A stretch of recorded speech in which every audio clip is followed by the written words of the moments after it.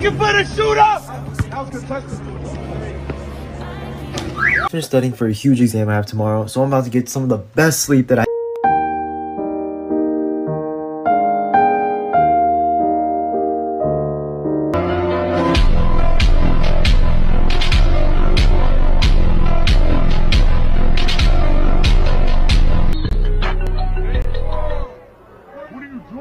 Shut the fuck up, nigga! speech, you